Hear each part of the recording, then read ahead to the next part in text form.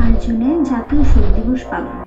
ঠাকুরগাঁও জেলা প্রতিনিধি মোহাম্মদ জাহিদ হাসান মিলুর পাঠানো তথ্য ও ছবিতে। ঠাকুরগাঁয়ে নানা আয়োজনে জাতীয় শোক দিবস পালন করেছে সর্বস্তরের মানুষ। বৃহস্পতিবার সকাল নয়টার দিকে ঠাকুরগাঁও জেলা প্রশাসনের আয়োজনে কালেক্টরেট চত্বর থেকে একটি শোক র্যালি বের হয়। এরপর র্যালিটি শহরের প্রধান প্রধান সড়ক প্রদক্ষিণ করে জেলা পরিষদ ডাকবাংলো চত্বরে গিয়ে শেষ হয়। জেলা পরিষদ চত্বরে নির্মিত বঙ্গবন্ধু শেখ মুজিবুর রহমানের প্রতিকৃতিতে পুষ্পস্তবক ও শ্রদ্ধা নিবেদন করেন জেলা প্রশাসক, পুলিশ প্রশাসন, আওয়ামী লীগ সহ বিভিন্ন শিক্ষা প্রতিষ্ঠান সহ সরকারি, বেসরকারি সকল প্রতিষ্ঠান, পেশাজীবী ও সামাজিক সাংস্কৃতিক সংগঠন সহ সকল শ্রেণি পেশার মানুষ। শ্রদ্ধা নিবেদন শেষে সর্বকালের সর্বশ্রেষ্ঠ বাঙালি, স্বাধীনতার মহান স্থপতি, জাতির পিতা বঙ্গবন্ধু শেখ মুজিবুর রহমানের স্মরণে এক মিনিট নিরাপত্তা পালন করা হয় ও তার আত্মার মাগফিরাত কামনা করে দেশ ও জাতির কল্যাণে দোয়া করা হয়। শ্রদ্ধা নিবেদন শেষে জেলা পরিষদ অডিটোরিয়াম হলরুমে আয়োজিত শোক দিবসের আলোচনা সভায় জেলা প্রশাসক ডক্টর কে এম কামরুজ্জামান সেলিমের সভাপতিত্বে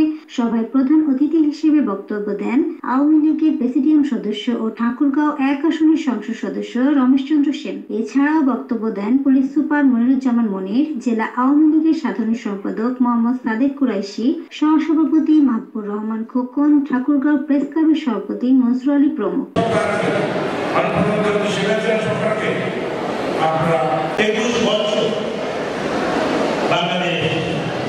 আমার শিক্ষা আছে ওই দিন হত্যা করা হয়েছিল বঙ্গবন্ধু